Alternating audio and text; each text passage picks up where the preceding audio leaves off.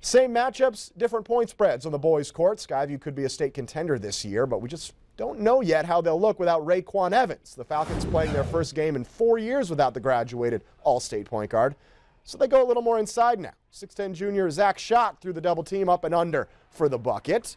Now a two-man game. Logan DeHaven drives baseline, then drops it off for Shot, who goes up and throws it down with two hands. It's nice to play basketball when you're 6'10. Then some defense. Alex Schaff with the steal. Threads the needle on the bounce pass to a streaking Jeremiah Warner for the deuce. Skyview looks good tonight. 60 to 40. They are victors in the opener. We told you at 5:30 also, seniors boys can play any number of styles. Taking on Hellgate, we go right to the fourth. Hellgate up one. Raleigh Wooster drives the lane, feels the contact, hoop, and the harm.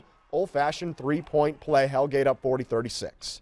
Up six now, but Connor Kickbush cuts that in half as he quick fires from the left wing. Money.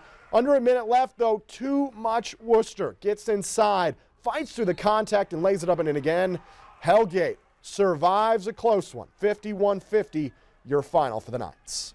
Finally, we end where we began. The Golden Dome for West Sentinel. The Spartans come out flying. Sam Bigley takes the handoff, goes all the way to the bucket and finishes. But threes will help you catch up in a hurry, and West made a lot of them. Jesse Owens from the wing, that one goes down. But Bigley was the star tonight from NBA range, nothing but the bottom. He had a steal and a layup with two seconds left to break a tie as Sentinel gets the 64 62 win in the Dome.